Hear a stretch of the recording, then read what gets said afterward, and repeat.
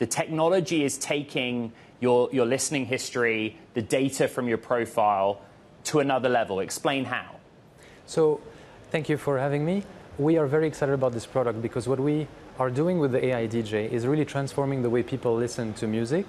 What we have created is a personalized AI guide for you, for every single user, that knows you and your music taste better than anything before and can therefore create this lineup that is really special with commentary that explains to you why you are listening to this particular song or track or artist and also tells you why you should care, right? So you're more open to discovery. And by doing so, with this stunning realistic voice and this form factor of an AI DJ just for you, uh, it is able to also learn from you better than ever before. And so it takes this metaphor we've always had with Spotify of creating, you know, we've had this metaphor of what if you had your own personalized DJ, what would they do for discovery? They would create Discover Weekly, they would curate your homepage, your daily mix. But this metaphor is now a reality. So that's why we're so excited to have built this product and it actually recommends better and learns better than anything we've done before users of, of Spotify around the world will be used to seeing lyrics or even video now when you have your favorite tracks playing in playlist form.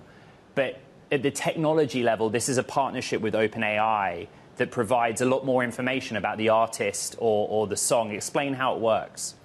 So this is taking generative AI on two levels. One is in the commentary itself, the facts about the art, uh, about the track or the artist. Why should you care about the song? What's important about it? So that is one aspect of generative AI we're using, and the other one is, of course, this incredibly realistic voice that brings a lot of passion and a lot of charisma and uh, a lot of warmth to the recommendations of the DJ. So we are taking those two aspects of generative AI and we are putting them in the hands of music experts inside Spotify, which are our music editors. They are some of the most knowledgeable and passionate people about music in the world. So we take this generative AI technology, including in-house and uh, some of the work we've done with external partners such as OpenAI, and we're taking that technology and in the hands of our um, music experts, it actually brings something new to both listeners and to creators. For listeners, it expands yes. their horizon, and for creators, it introduces them to new audiences. You know, Ziad, when you announced uh, last summer that you were acquiring Sonantic, many were like, you know, what's going on here? How does this end up in the platform? That's the final part, right, of the AI DJ, a voice component. Why did you do that?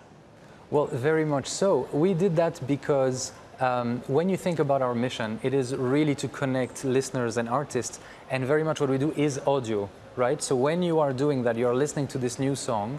Um, the best possible way to introduce you to a new song is to give you the audio commentary, the reason why uh, you are listening to that song, why you should care, and also it gives you a chance to try it out. And we have found in the data, since we have started rolling out our beta, that users who hear commentary from that stunning realistic voice from Sonantic technology that we acquired, when you hear that commentary, you are much more likely to try something new.